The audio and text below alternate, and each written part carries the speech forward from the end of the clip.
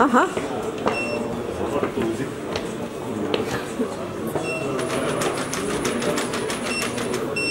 Алексей Леонидович, как вам ваш новый?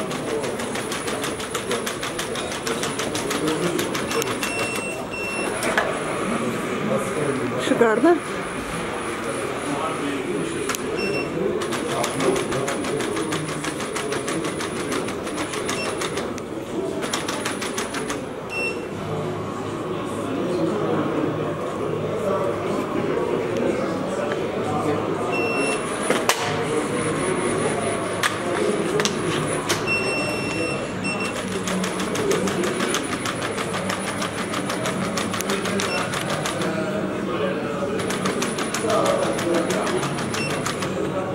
Лапу дают?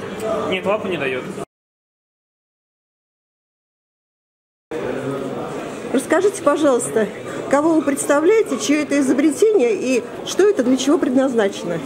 А, Меня зовут Кайнов Илья, я продукт-менеджер инновационного подразделения Trilogy Group. Это крупнейший компьютерный дистрибьютор Российской Федерации. И два года назад он создал инновационное подразделение, которое занимается технологиями четвертой промышленной революции. К которым относится это чудесное изобретение, это робот-собака. Но по документам, если прям совсем смотреть, это платформа. Платформа для разработки и исследований. Соответственно, робот-собака может выполнять патрулирующие охранные функции. У нее сферические камеры, то есть она может определять э, человека, специальные объекты. Также это потрясающее устройство для образования, для воспитания профессии инженер-робототехник, потому что у собаки полный открытый исходный код. А, Более того, это средство, не обязательно вот эта модель, у нас много разных моделей, используется в промышленности для детекции, например, утечки газа на производстве. То есть можно установить специальную камеру, которая будет обнаружить утечку на производстве. Также она используется для соблюдения и контроля техники безопасности. Например, собаку можно научить реагировать на надевание ну, каски спасательной, либо специально для высотных работ. Это небольшая логистическая платформа, собака может переносить до 10 килограммов на эту модель, но у нас есть модели более грузоподъемные. Сейчас это средство будущего, которое выдано в руки человечеству для того, чтобы ответить на вопрос, что еще можно с ней сделать. То есть э, мы как компания являемся дистрибьютором этой технологии, и у нас есть очень классная команда инженеров, которые каждый день буквально что-то дорабатывает, что-то делает с собакой, и, соответственно, создает какие-то специальные новые кейсы использования. Скажите, пожалуйста, собака может использоваться э, в силовых структурах для э, поиска наркотиков или взрывчатых веществ? А, С помощью специальных модулей, да, как бы для поиска наркотиков, для примера вашего, необходимо обоняние, у собаки его как такового нет. Но специальные датчики уже давно разработаны, да, соответственно, при установке на, ней- на нее это более чем выполнимая функция. Для патрулирования, для поиска людей в труднодоступных местах пропавших. И, в принципе, проникновение в разные области, труднодоступные для человека, и создание более безопасных условий труда для человека в первую очередь. Если рассказать об органах чувств э, этого, ну так скажем, искусственной собаки, что она может улавливать? Звук, запах, что еще? ну, запах с помощью установки дополнительного модуля. А, у нее есть ультразвуковой датчик, соответственно, это датчик, который определяет э, положение собаки, расстояние до ближайшего объекта.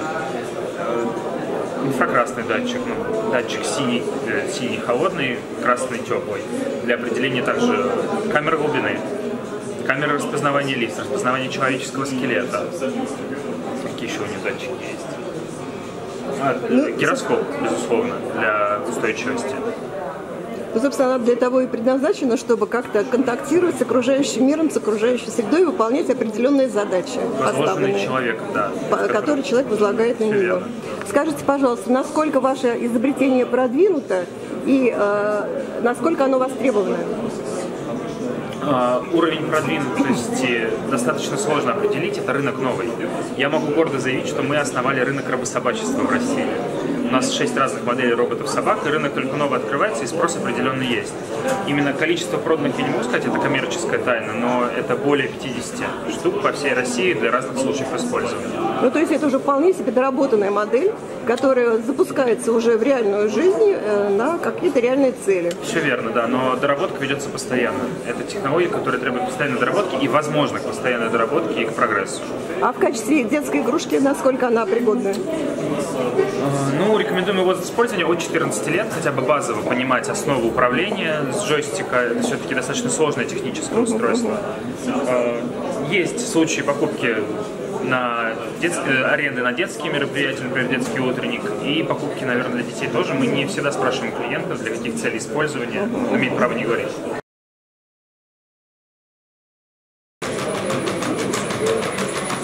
Могу продемонстрировать ее устойчивость.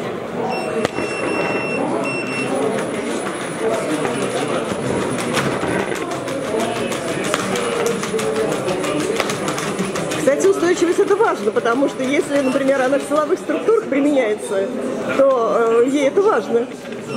А как зовут собачку? Гоша. Гоша? Гоша, да. Модель называется Go идти, а модель Гоша это на русский лад, просто перевед. Отлично.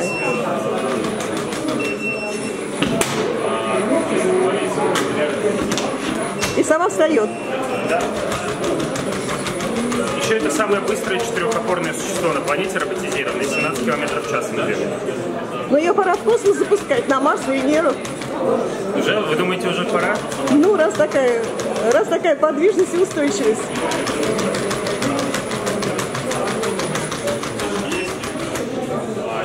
Молодец. Спасибо.